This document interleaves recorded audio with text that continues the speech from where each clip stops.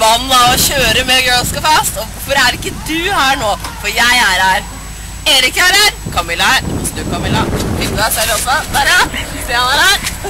Dette er veldig gøy. Og det regner ikke i år. Så mye, i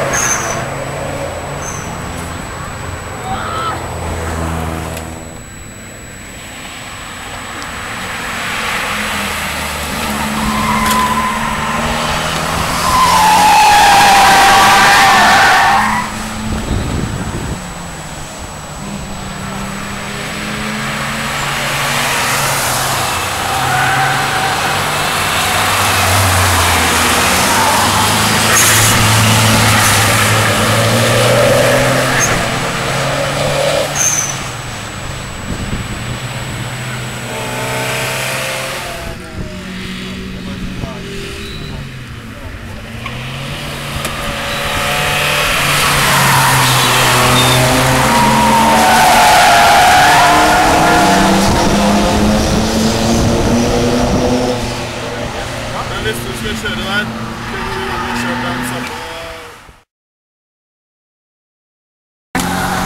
Nå skal vi ut og kjøre en søndagstur.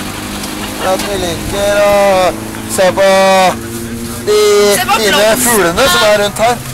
Den norske fauna. Ja, det er det vi tror. Ja. Nei.